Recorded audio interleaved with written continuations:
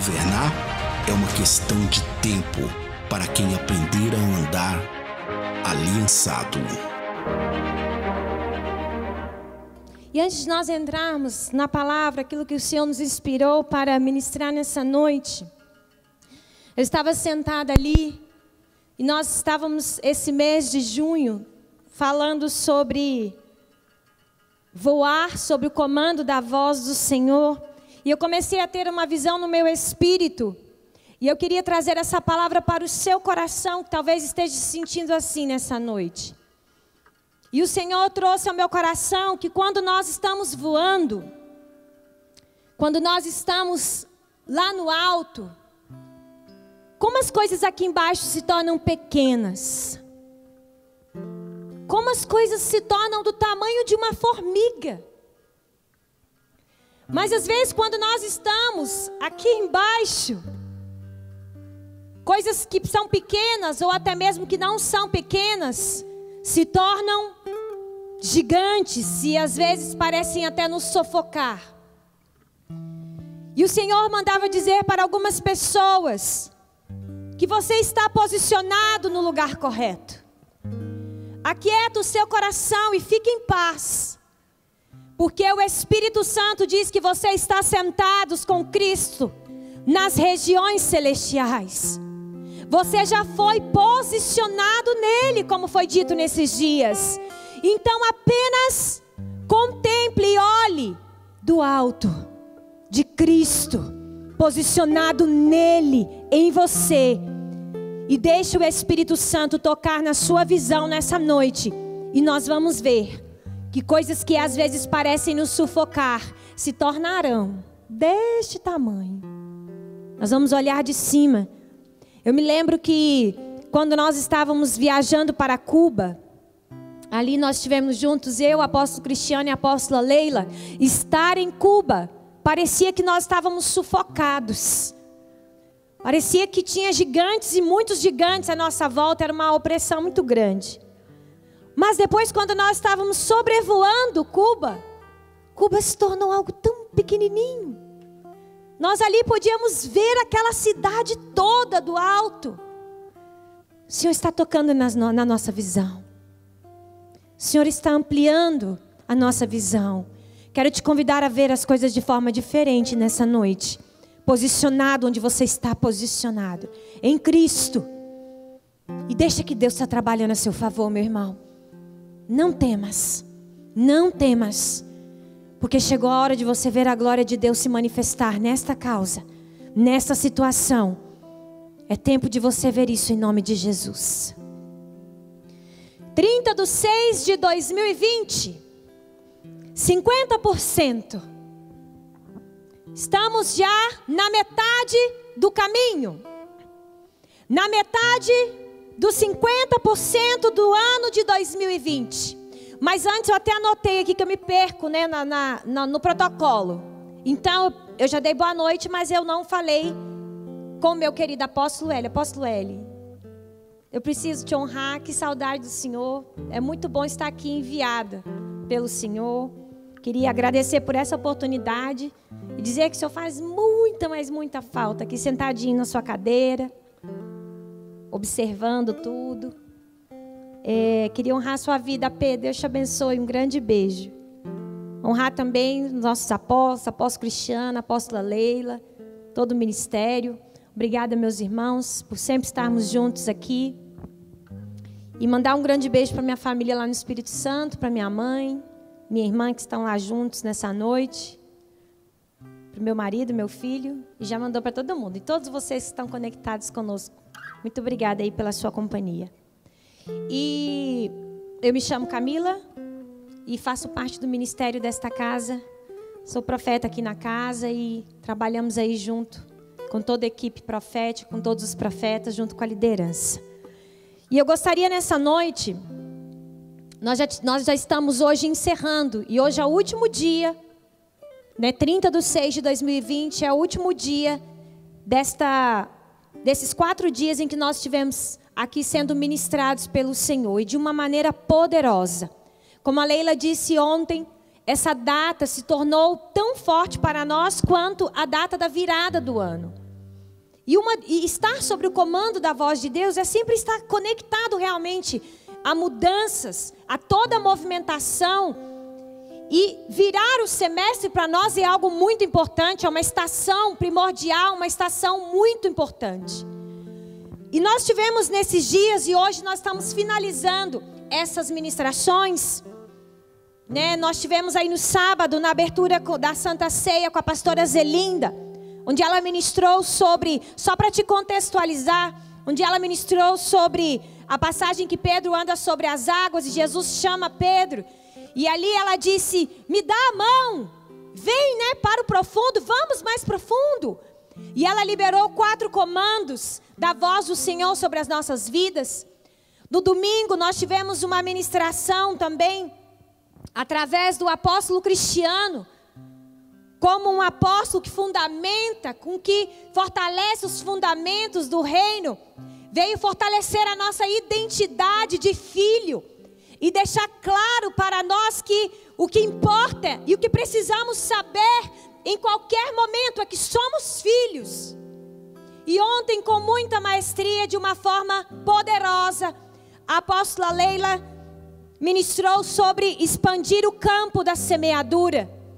E ela falou de uma forma muito profética, de uma forma como uma, uma, uma apóstola do Senhor, ministrou sobre semear no campo do outro para que a vida tenha sentido.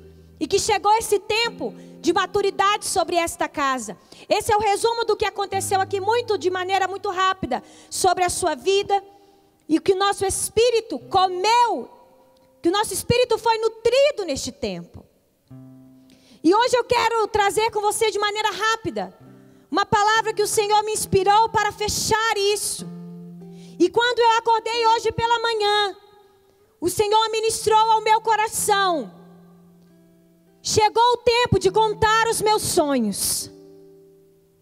Vocês são uma casa contadores de sonho.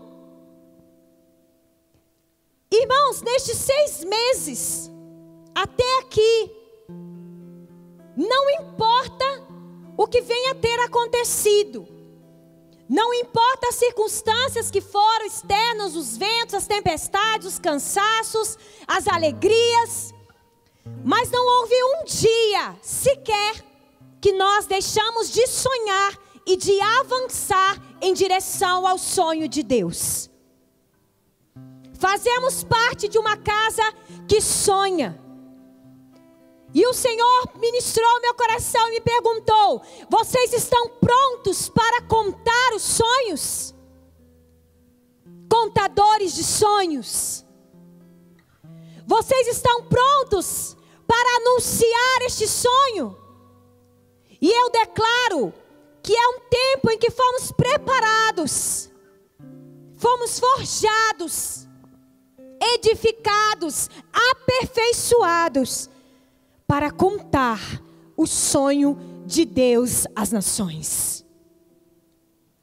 Para contar qual é o sonho de Deus para as famílias para contar de uma maneira mais expoente, de uma maneira mais, ainda mais forte, o sonho de Deus para a política, o sonho de Deus para a educação, o sonho de Deus para o Monte das Artes e para todas as outras montanhas, todas as outras áreas de atuação em que a igreja será estabelecida nesse tempo. Nós temos algo a ecoar, porque uma história foi construída, uma história de 12 anos, sonhos foram gerados no ventre, existe experiência para, sonhar, para contar nos lábios desse povo, nos lábios do povo desta casa. Eu não estou dizendo que isso é algo particular para a nossa igreja, porque o sonho de Deus não é uma denominação. O sonho de Deus é uma visão. Nós fomos chamados para estabelecer o sonho de Deus na terra. O sonho de Deus é algo que o Senhor ministrou, entregou a visão a esta casa. E nós somos apenas contadores destes sonhos, porta-voz destes sonhos. E o Senhor ministrava ao meu espírito Uma igreja que fala de sonho é uma igreja que não pode ser ignorada na história. Uma igreja que fala de sonho, a sua voz não será de maneira nenhuma ignorada. Mas chegou a hora dela ser a resposta para a história. Chegou a hora dela ser a resposta, dela ser uma balizadora de tudo que está acontecendo hoje no mundo, nas nações e na nossa nação, na nossa cidade. Eu sinto no meu espírito um tempo tão preciso. E eu vi o meu, o meu, o meu irmão, meu apóstolo Cristiano falando no domingo desse encargo, dessa incapacidade que nós sentimos nesses dias. E é algo realmente que nós vamos conversando com um, conversando com o outro, e nós vamos compartilhando deste sentimento. Porque realmente isso tem nos assolado.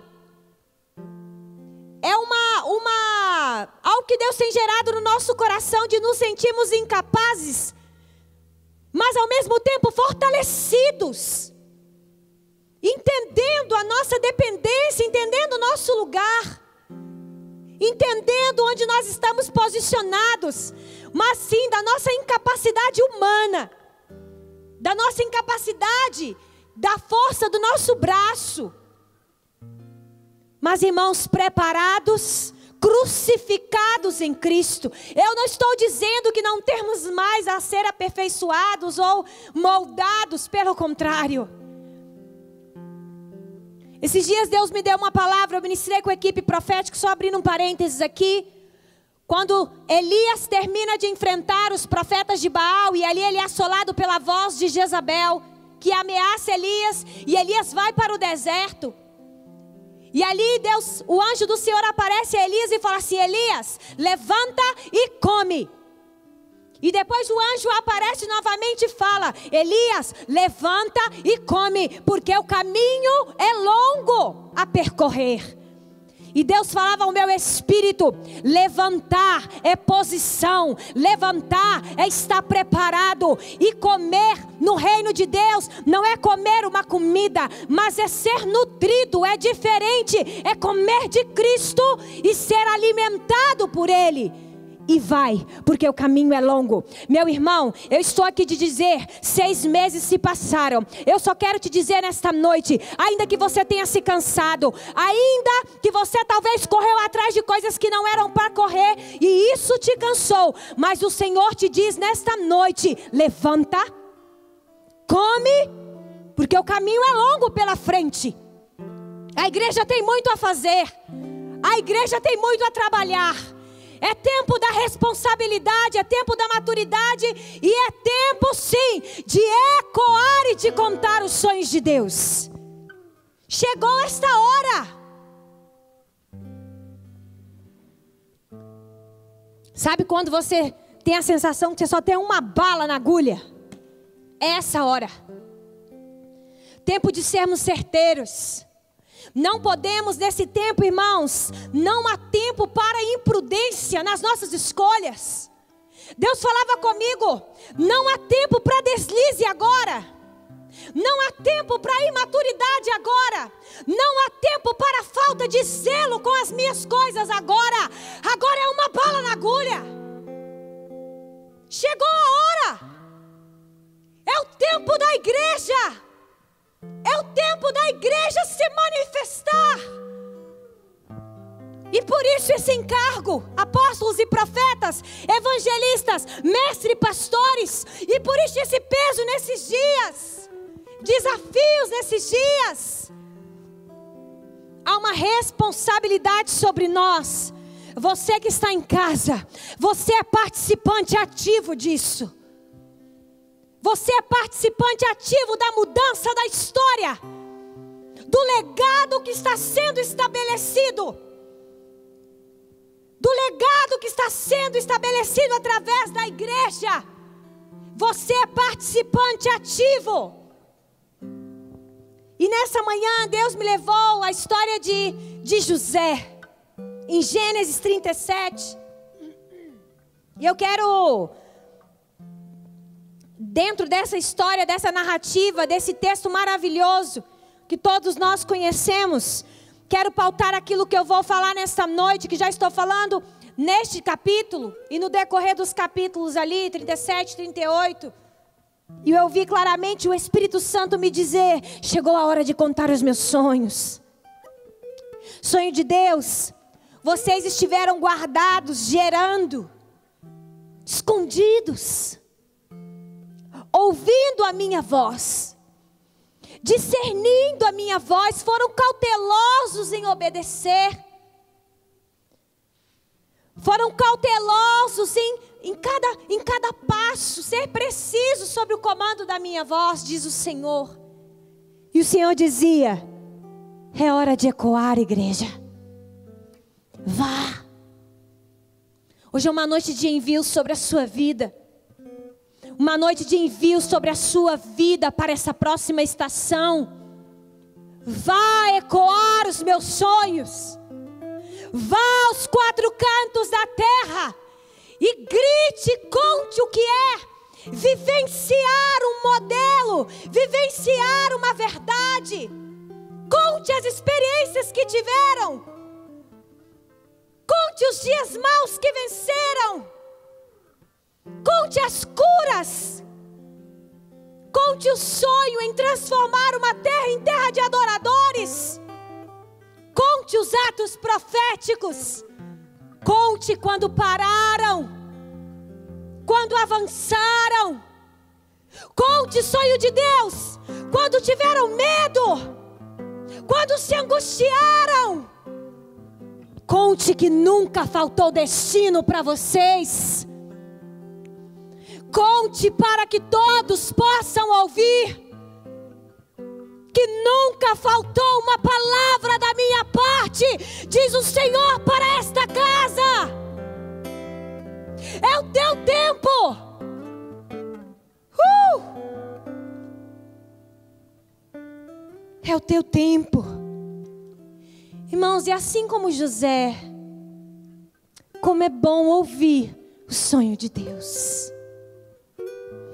Como é bom ouvir o sonho de Deus. Um dia José ouviu um sonho. José teve um sonho. E o Senhor falava comigo: o sonho, ele carrega, ele transporta com ele uma linguagem de esperança. O que o mundo precisa hoje se não é viver a esperança de uma igreja que foi perseverante, de uma igreja que perseverou, que creu, que acreditou.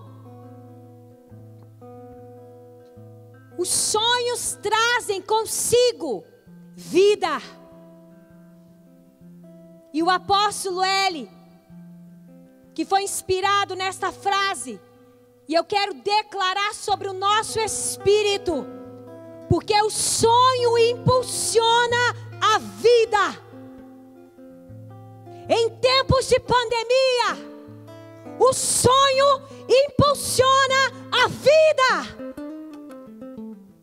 O sonho, irmãos, nos faz acordar, nos faz estar de pé nos faz olhar para o lado, olhar para o outro e falar: peraí, nós somos impulsionados por algo muito maior do que o nosso umbigo, do que os nossos desejos pessoais. Meu irmão, como os nossos sonhos particulares se tornam tão pequenos diante dos sonhos de Deus. Eu não consigo nem me lembrar o dia que eu peguei meu caderno e escrevi os meus sonhos. Porque Deus fez infinitamente mais. Infinitamente mais. E eu quero te encorajar nessa noite. Seja impulsionado a vida na próxima estação pelo sonho de Deus. E José, e José teve dois sonhos. Primeiro, José disse: Estávamos amarrando os feixes de trigo no campo. Quando o meu feixe se levantou, eu fiquei em pé e os seus feixes se juntaram ao redor do meu e se curvaram diante dele. José contando os seus sonhos, contando os sonhos que ele havia tido para os seus irmãos. Depois ele teve um outro sonho e contou aos seus irmãos. E desta vez o sol e a lua e onze estrelas se curvavam diante de mim. E os irmãos odiaram José ainda mais depois do segundo sonho. Ô oh, José, você está dizendo então que vai reinar sobre nós? Você está dizendo então que vai governar sobre nós? Deus deu um sonho a José e este sonho era de governo. Talvez um primeiro momento, nós já contamos muitos sonhos ao longo desses 12 anos. Fomos forjados, preparados, como eu disse. E por muitas vezes fomos rejeitados. Talvez nadamos contra a correnteza em muitas situações. Mas eu quero te dizer que chegou a hora de pararem para te ouvir. Peraí, vocês estão dizendo: governarão sobre nós? Reinarão sobre nós? Não uma bandeira, não uma religião, não uma denominação, mas uma visão, uma cultura o reino de Deus, o sonho de Deus de ver uma igreja, uma geração eleita, uma geração santa, sacerdócio real, um povo escolhido, um povo separado, um povo preparado, forjado para contar a mente e o coração de Deus ao mundo e ecoar por onde ela passar. Deus deu a José um sonho de governo. Deus deu a José um sonho coletivo. Isso lhe parece peculiar, sonho de Deus? Receber um sonho de governo, receber um sonho da parte de Deus. E o pastor Aloísio, nesse, nesse tempo que nós gravamos os vídeos, né, as pessoas, nossos amigos que passaram por aqui, os amigos da, da, desta casa, ele, come, ele foi um dos primeiros e ele falou algo tão, tão bonito. E ele começou o vídeo falando assim: ter a capacidade de sonhar já é algo maravilhoso. Já é algo que enche os olhos, já é algo que, que brilha os olhos. Mas ter a capacidade, a experiência viva de sonhar o sonho de Deus é algo muito maior. E aquilo, nossa, aquilo veio assim dentro do meu coração. Eu falei, meu Deus, uau, é verdade. Porque sonhar dá brilho no olho. Quando a gente tem um sonho, quando você senta para compartilhar um sonho com pessoas certas, dá brilho no olho do outro. Fala, uau, vai em frente, avance. E sonhar o sonho de Deus é algo mais maravilhoso ainda. As pessoas e a religião acham que sonhar o sonho de Deus, servir a Deus, tudo isso foi distorcido, né? Impressionante a capacidade que a religião tem de distorcer as coisas. É algo sofredor, é uma renúncia, um. Irmãos, ainda que em dias difíceis, nos processos de Deus, nos dias mais angustiados, de angústias que nós temos, é maravilhoso sonhar o sonho de Deus. É maravilhoso sonhar o sonho de Deus. Vocês abandonaram os seus sonhos, abriu mão, irmãos. Não entra nessa troca. Não é uma troca. É injusto falar isso. Ter a revelação do sonho de Deus é viver por algo muito maior. É ter sentido a vida, como a apóstola disse ontem. Como diz a pastora Zelinda, é andar por caminhos imagináveis. A pastora disse: sonhar é andar por caminhos imagináveis. Sonhos, gente, são oportunidades que temos de acessar a mente de Deus. Preste atenção nisso. Sonhos, através dos sonhos gerados e revelados a nós, nós podemos ver o futuro, andar nele, saltar nele. Tudo isso através do sonho de Deus, de uma visão profética. Sonho é um instrumento para aferir quem vai estar junto na história. Deus me disse isso. Porque quando você conta um sonho, você consegue ver a exposição do coração de todos. Quem está e quem não está. Quem sonha junto e quem não sonha. Quem acredita na visão e quem não acredita. José contou para os seus irmãos. Seus irmãos rejeitaram. Seus irmãos odiaram o que ele estava falando. Expõe o coração. Expõe a inveja. Expõe tantas coisas. Mas também você consegue aferir e ver quem está junto. Quem está sonhando junto, quem foi tomado pela visão.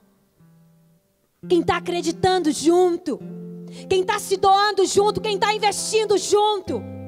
Quem está se entregando junto. José contou um sonho, um sonho de governo, um menino de 17 anos. Talvez ali na sua inocência. E contar os sonhos de Deus, gente, é ter os mistérios do coração de Deus revelado. É ter acesso a esses mistérios. É escrever a história de forma original. Sem nenhuma deturpação, sem nenhuma interferência humana, sem nenhum achismo humano sem nenhum conhecimento intelectual, porque ouviu de Deus, porque é dele, é revelação que vem dele, é Ele que gera, é Ele que impulsiona, a vida está nele, Ele é a vida, é em partir dele. Contar de sonhos custa caro. Falar dos sonhos de Deus, como José falou dos sonhos, pode custar caro. Pensar fora da caixa, fora da caixa da religião, fora da caixa do sistema, pode custar caro. Nós já pensamos fora da religião, é, dessa caixa há muito tempo há muitos anos. A religião prende, amordaça os sonhos, ela mata os sonhos. Ela tira, ela nos rouba, nos deixa incapazes, inférteis. Porque a religião não tem interesse em sonhar o que Deus sonha. Ela tem interesse em manipular. Ela tem interesse em ser o centro. Ela tem interesse em prender. Porque quando você sonha o sonho de Deus, você se depara com a paternidade. E quando você se depara com a paternidade, você lança, você faz voar.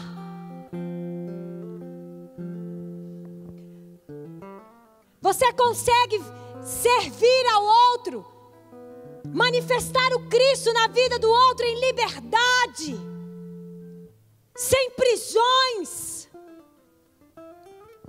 Sonhar nos faz livres. Grava isso no seu espírito.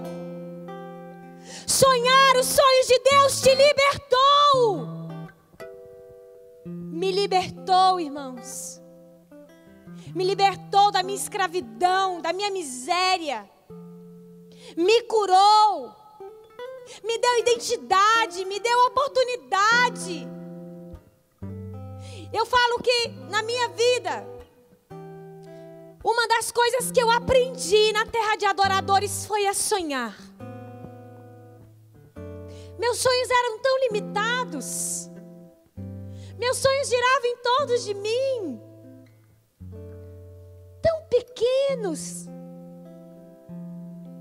Tão vazios, sem sentido. E aí eu me juntei a um povo que consegue acreditar, que consegue ver, que consegue ver à frente, me ensinou a ver além, além, além, dessa, da, além da história, além desses limites que são estabelecidos nas nossas vidas através da nossa história. Eu posso dizer uma coisa: aqui eu aprendi a sonhar. E posso te dizer, quantas pessoas podem pegar esse microfone e dizer: aqui eu aprendi a sonhar. E eu não aprendi a sonhar e a viver os meus sonhos. Eu aprendi a sonhar os sonhos de Deus. Eu aprendi a ver o valor das pessoas. A me desconectar de um egoísmo, de uma miséria humana, adâmica. E ampliar a minha visão. E olhar não apenas para um lado, para o outro, mas ter uma visão profética. Ver além, ver o futuro, saltar, ir lá, transitar, me movimentar. Porque o sonho não te paralisa, o sonho te impulsiona. Ele te impulsiona. Sonho de Deus seja impulsionado nesta noite. Tempo de arrancada violenta. Tempo de arrancada. Deus sempre quis compartilhar o seu sonho. A Abraão, a Noé, a Daniel, ao profeta Jeremias, a tantos homens. Deus foi revelando ao longo da história, mantendo viva a semente do sonho, para chegar até nós, que era o propósito eterno dar a conhecer o Filho, o Cristo vivo. E aprove ao Senhor neste tempo revelar a sua igreja em Taubaté, terra de adoradores. Vai e conta os meus sonhos. Vai, contadores de sonhos. Vocês podem contar. Porque você só pode falar daquilo que você experimentou, daquilo que você sentiu doer, daquilo que você sentiu crucificar, daquilo que você sentiu morrer. Temos muito a ser aperfeiçoados, muitos, a morrer a cada dia, a cada dia mas buscamos todos os dias ser governados pela natureza de Cristo em nós. E nessa noite, caminhando dentro disso, o Senhor me falou três pontos. Vou ser breve. O primeiro deles foi quando Deus revela um sonho, somos marcados por Ele. A nossa vida é marcada por esse sonho e ela nunca mais será a mesma. Eu posso te fazer uma pergunta? O que seria de José se não tivesse sonhado aquele sonho? O que seria de José? Será que ele seria conhecido como sonhador? Será que ele só não seria mais um em meio aos seus irmãos? Mais um dos filhos de Jacó, o preferido. Porque sonho muda a nossa história. Irmãos, aquele menino de 17 anos se tornou o segundo maior homem da história no Egito. Um homem de alto escalão, de governo. Quando recebemos, quando ouvimos o sonho de Deus, Muitas vezes nós não temos a compreensão do todo. Porque o sonho do Pai vem para quebrar limites. O sonho do Pai vem para romper com estruturas. O sonho do Pai vem para romper com a fragilidade humana. O sonho do Pai vem para romper com a nossa incapacidade. Quando Deus revela um sonho, nossa vida não é a mesma. O que seria da sua vida? Você que está aí sentado, faz parte desta casa e você que vai ouvir depois. Essa palavra não é uma palavra para quem é do sonho de Deus. Porque o sonho de Deus não é uma denominação. O que seria da sua vida se você não tivesse escutado ou revelado ao seu espírito o sonho de Deus? Será que você estaria aí onde você está, ou da maneira em que você está? Vivendo o que você está, enfrentando esses dias da maneira em que você está, fortalecido da forma em que você está, sustentado da forma em que você está, sendo ministrado, aperfeiçoado da forma em que você está, preparado forma em que você está. O sonho de Deus remove o passado, cura a alma, restaura a identidade, irmãos, sara as nossas feridas, nos devolve a nossa origem e nos impulsiona ao nosso destino profético. O sonho de Deus, a nossa vida, ele vem e ajusta a rota. Sabe quando a rota está meio desgovernada? Quando você está andando e está tudo meio nebuloso.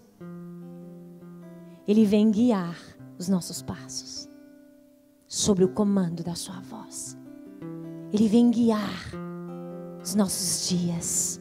Ele vem, filhos, vão vai por ali. Filhos, para. Não faça isso agora, não é o tempo. Avance, prossiga, resista. Vá agora de maneira forte, de maneira violenta. Avance. Ele nos guia. Ele nos direciona, ele sopra. Hoje sonhamos porque somos guiados pela voz do nosso Pai. Hoje somos o sonho de Deus e vivemos o sonho de Deus e anseiamos por esse sonho. E este sonho queima no nosso espírito porque somos guiados pela voz do nosso Pai. Como sobrevivemos esses dias de pandemia? Como passamos por esses dias de pandemia? Pare para pensar. Como nós estaríamos vivendo esse tempo, esse, esse semestre de 2020, se não estivéssemos posicionados em Cristo e vivendo o sonho de Deus? Falando das coisas que estamos falando, vendo as coisas que estamos vendo no Espírito, se não tivéssemos um dia escutado o sonho de Deus. Irmãos, podemos ser a resposta como igreja, porque um dia, como José, ouvimos o sonho de Deus. E o sonho de Deus tem impulsionado a nossa vida, a vida deste ministério a vida da liderança dessa casa, a vida dos ministros dessa casa, dos membros dessa casa. Quando se sonha o sonho de Deus, quando temos uma visão profética, nós nos tornamos contadores e executores desses sonhos. O sonho de Deus passa pela sua vida, passa pelas suas experiências, passa pelo seu aperfeiçoamento, passa pela sua identidade, passa pela sua mudança, passa por você.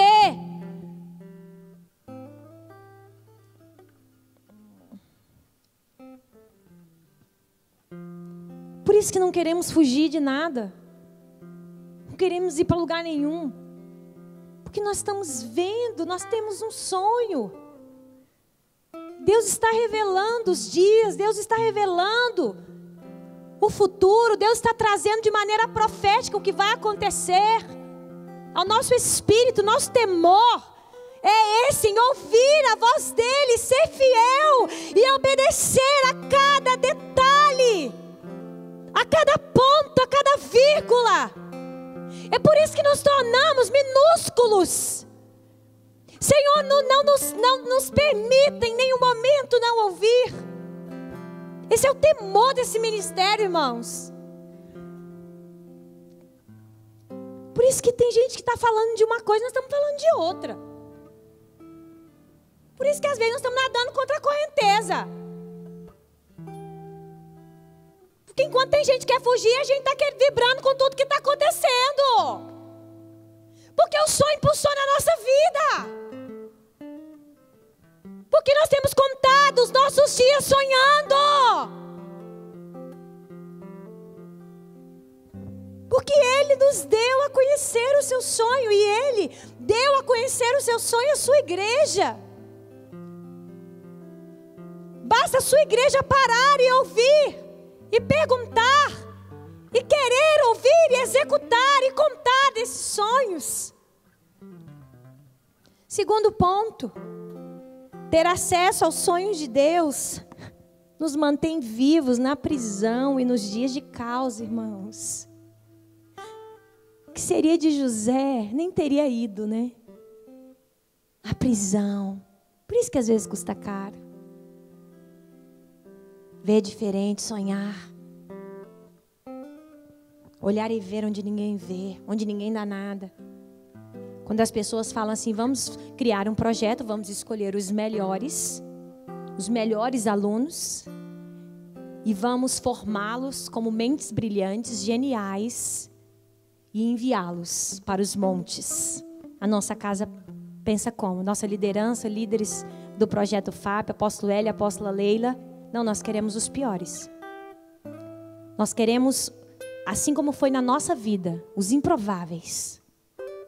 Aqueles que ninguém dá nada. E vamos investir.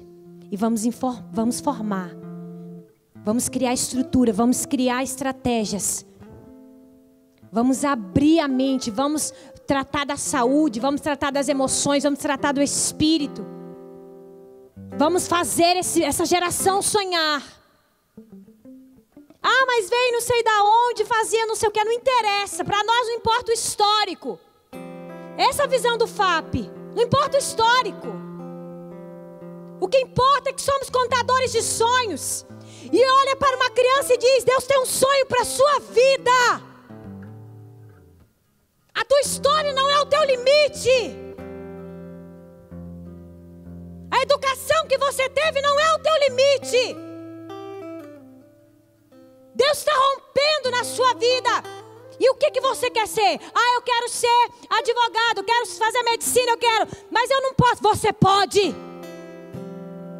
Deixa o sonho de Deus te tomar. Você pode. Deixa eu te contar um sonho. Deus cura a tua identidade, a tua orfandade, a tua miséria. Você pode. Aqueles que não acreditam. Vá, aqueles que hoje precisam ouvir isso. Que estão desesperançados. Conte um sonho de Deus. Eu duvido se não tem ninguém querendo ouvir agora sobre um sonho. Quantos casamentos destruídos. Traz para perto, deixa eu contar qual é o verdadeiro sonho para a tua família. Eu tenho um sonho para te contar para sua casa. Seu marido te traiu. É nessa condição que você está. Deixa eu te contar um sonho. Você sabia que existe o perdão, que existe a cura, que existe a restauração, que Deus pode restaurar? Seu negócio quebrou. Você faliu nessa pandemia. Deixa eu te contar um sonho. Existe um Deus que restaura, que às vezes vai você vai lá no pó, mas ele te levanta novamente. E ele deposita sementes no teu coração, e ele coloca estratégia na sua mão. Ele te tira de onde você está. Deixa eu te contar o que está acontecendo na sua vida é apenas um momento temporário, mas você está pronto, meu querido. Você está pronto para voar. Vá, conte, leve esperança. Você está com medo trancado na sua casa? Você está com pânico trancado na sua casa? Você está com ansiedade trancado na sua casa? Deixa eu te contar um sonho. Há um Deus que governa as nossas emoções. Há um Deus que é a própria paz. Há um Deus que governa a nossa vida. E Ele pode fazer algo por você. Deixa Ele arrancar esse medo. Deixa Ele arrancar essa enfermidade. Deixa Ele quebrar esse diagnóstico que te deram. Ele tem esse sonho para você. Você quer fazer alguma coisa e você está impossibilitado por causa de uma condição financeira? Deixa eu te contar algo. Deixa eu te contar um sonho para sua vida. Levar esperança para você. Não deixa isso morrer. Não deixa isso morrer. Se isso foi depositado no seu coração, não deixa a condição financeira ser uma limitação na sua vida. Deixa eu te contar um sonho. Deus acredita. Creia. Creia, exerça a sua fé. Não pare de acreditar. Porque pode estar um vendaval aqui fora, mas aqui dentro tem um sonho. Ele nos tomou. Ele nos tomou. Ter acesso aos sonhos de Deus, irmãos, nos mantém vivos na prisão. Irmãos, quantas prisões ao longo de 12 anos, quantos cárceres, quantos desertos. Uh! Calejados. Quantas situações que nós olhávamos Parece que Golias tinha quatro metros de altura mesmo. Mas você permaneceu. Você permaneceu. A esperança para a árvore, ainda que for cortada, não cessará os seus frutos, mas viverá. É tempo de esperança, sim. É tempo de esperança, é tempo de sonhos. Quantas vezes nós somos mexidos, sacudidos, em meio às prisões, em meio aos cárceres, em meio aos desertos, aos dias maus, aos dias difíceis. Mas eu quero te dizer que o sonho te mantém vivo. Uh! Você pode ir na sua casa. Uh! Por que, que eu estou vivo? Porque o sonho impulsiona a sua vida. Eu passei por tudo aquilo. Uh! Sim! Porque o sonho te impulsionou e está vivo dentro de você. Porque quando nós sonhamos os sonhos de Deus, nós temos uma visão profética. E nós não vivemos apenas momentaneamente uma circunstância, mas nós vemos o final da história em Cristo. E para finalizar, Deus me disse: o meu sonho é sustentável, é inabalável. E o Senhor me fez uma pergunta. E eu te pergunto: quem pode alterar os dias que foram escritos pelo Senhor? Quem? Quem pode alterar os dias que já estão determinados? Escritos pelo Senhor, nada e nem ninguém. Ninguém. O que sustenta uma história de 12 anos? Sonho de Deus. Nossa, você já tem 12 anos de ministério? Como que vocês chegaram até 12 anos? Como que vocês conseguiram chegar até 12 anos, apóstolo Hélio? O sonho de Deus. Dia após dia, manhã após manhã, reunião após reunião, congresso após congresso, curas após curas, libertações, ministrações, aljava após aljava, FAP após FAP.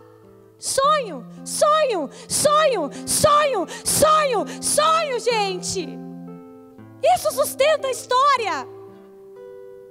Mas não um bando de gente que fica pensando, ai, o dia que eu tiver a minha casa, ai, o dia que eu tiver o sonho de ir para outra nação, o dia que eu tiver, meu irmão, é muito maior. Queima. É muito maior. Impulsiona a vida. Dá ar.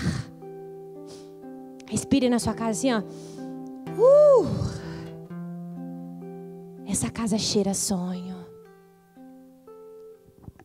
E por isso nós temos vida. Para finalizar, sonhar e governar.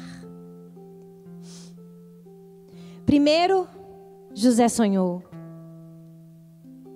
E depois de todo o processo, José governou. Nós estamos entrando numa década de governo. Primeiro semestre de uma década de governo. Sonhamos já por 12 anos.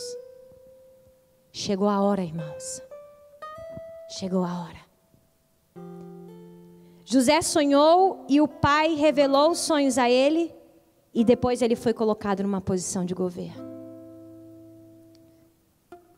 Porque no reino ninguém governa para si. No reino de Deus, sonha e governa para um povo, e governa para uma cidade, e governa para uma nação. Um governo que sonha, ele governa para estabelecer justiça, gozo e paz. O governo de uma igreja, quando nasce no sonho de Deus, quando origina no sonho de Deus, quando a concepção é na mente de Deus, o coração de Deus, o projeto de Deus, a visão de Deus, não há fronteiras. Não há limitações. Quem diria que um jovem de 17 anos, quando recebeu um sonho, foi como escravo do Egito, depois se tornou administrador da casa de Potifar, foi lançado na prisão, administrou a prisão. Um povo que governa no nome do Senhor, escolhido por Deus, ele é forjado em dias de prisões, em dias de cárcere. Porque os sonhos de Deus te faz permanecer inabalável nas circunstâncias. Irmãos, dá medo, dá muito. Dá ansiedade, às vezes dá também. Treme a perna, treme também. Dá aperto no peito, dá também. Ninguém imbatível. Mas quando você tem um sonho, quando o sonho de Deus é revelado no seu espírito. Quando você tem a sua profissão. E você entende que a sua profissão, que o lugar que você está posicionado é para estabelecer o sonho de Deus. Onde você está, a tua vida não é mais a mesma.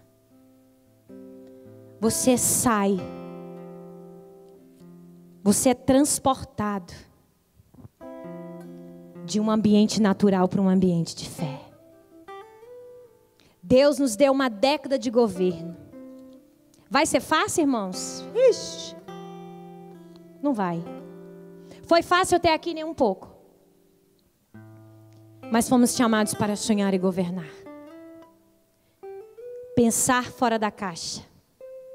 Fomos chamados para ser a resposta para esse tempo como a igreja de Cristo na terra.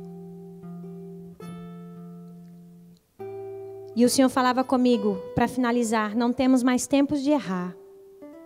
Precisamos transmitir um legado para as próximas gerações.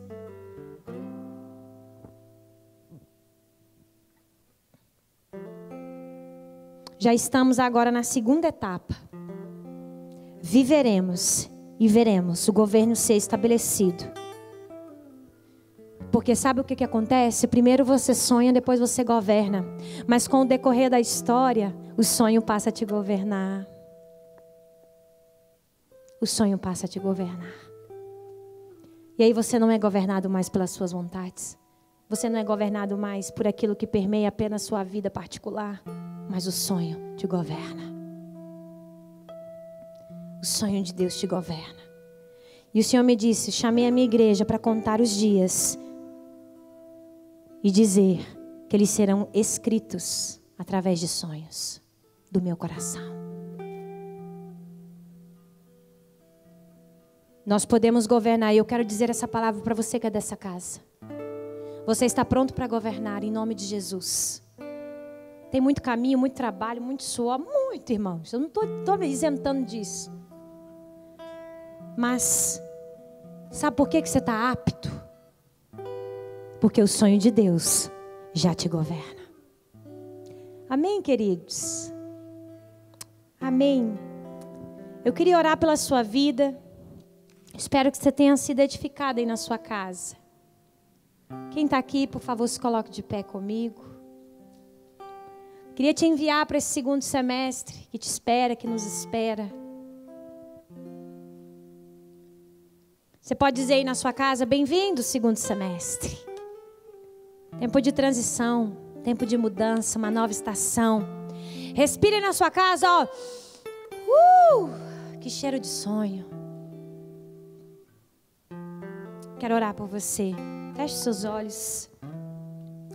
Como uma igreja apostólica e profética, nós somos governados pelo sonho de Deus. E eu quero declarar uma igreja, Senhor, que chegou a hora de contar, de comunicar, de verbalizar, de ir, de ecoar o sonho de Deus às nações e ao mundo. Chegou o tempo de ser a resposta. Nesse segundo semestre, eu quero te enviar na, na autoridade, em nome do Pai, do Filho e do Espírito Santo, seja enviado para essa estação agora. Queremos declarar você fortalecido. Queremos declarar que o Senhor está preparando todas as coisas. O favor de Deus está sobre a sua vida. O Senhor está erradicando todo medo. O Senhor está arrancando toda ansiedade. O Senhor está arrancando todo excesso de futuro. Tudo aquilo que te permeia a sua mente agora e tem tentado arrancar a sua fé, a sua certeza. Nesta noite nós cancelamos e declaramos a tua mente preparada, pronta, saudável. Para você contar os sonhos.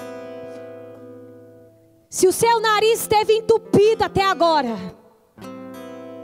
e você só tem sentido o cheiro de outras coisas, eu quero dizer: sinta o perfume aí na sua casa, do sonho, da esperança, da vida, da virada. É tempo de virada, igreja. É tempo de uma virada poderosa. Isso não é slogan, isso é palavra profética. Seja enviado em nome de Jesus. Eu te abençoo aí na sua casa, abençoe a sua família, abençoe os seus negócios, a sua vida. Você é participante ativo de tudo isso. Vamos juntos sonhar e governar. Sonhar e governar. Como igreja, ser a resposta para esta geração. E junto comigo, repita na sua casa. Junto comigo, repita aqui agora. Segundo semestre. Seja bem-vindo!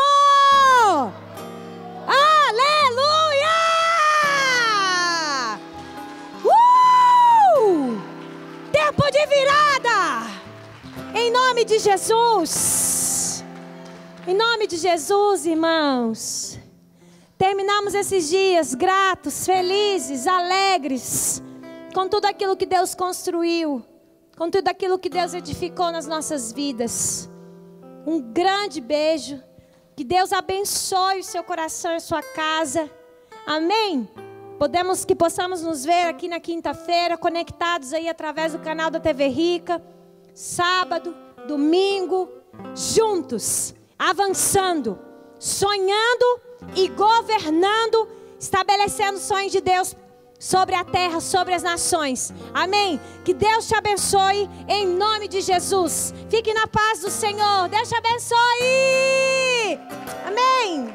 Governar é uma questão de tempo para quem aprender a andar aliançado.